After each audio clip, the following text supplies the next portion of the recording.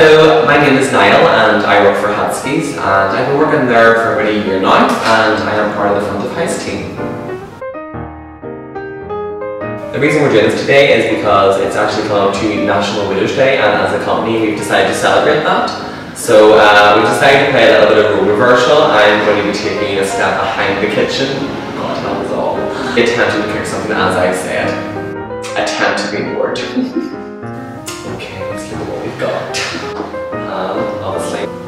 two apples, butter, sugar, smallest pan for the tallest member of staff. Um, well, I've seen these in Hadskis, and they were used for the tarte tatin, so am I right? Am I right? Result! So, first of all, we start off with 80 grams of sugar, 30 grams of butter, 2 Granny Smith apples, 1 sheet of puff pastry, and some vanilla ice cream. Heat the oven to 180 degrees, and then we're going to heat some butter and sugar until it's caramelized. Okay?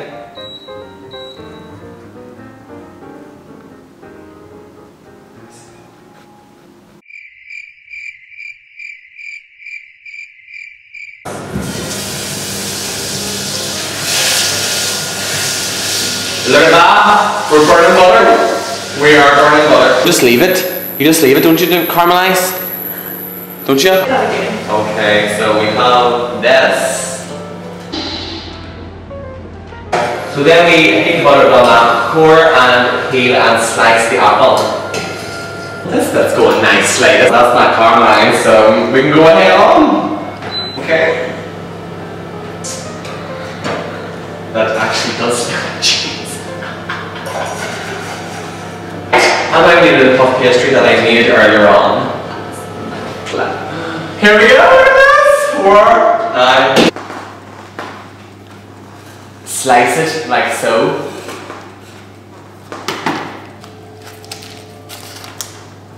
Okay, so this is coming up.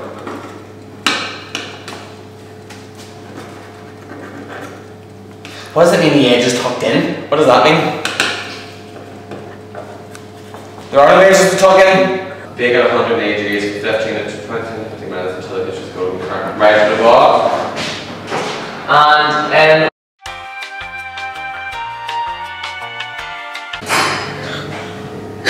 And we have left off. Let's do this. Let's see what we have. That's not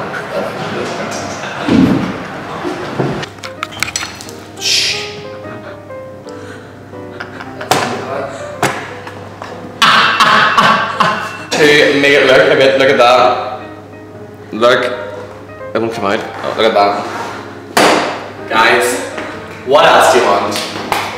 What else do you want? Here we have one that was actually made by the chefs downstairs in Bar and Grill by Cahill, our we apprentice in the apprenticeship scheme. And this is mine. Beautiful tarte tatin pasty. Well, I thought it was fantastic. It was hilarious. I tried my best. I hope you enjoyed it, but I did try my best. Would you do it again? Yes.